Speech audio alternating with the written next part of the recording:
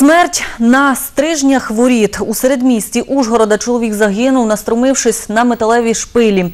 Трагедія сталася у неділю вранці в провулку навпроти гірчичного зерна. У поліції повідомили, що чоловік віком 45-50 років поранився, перелізаючи через ковані ворота.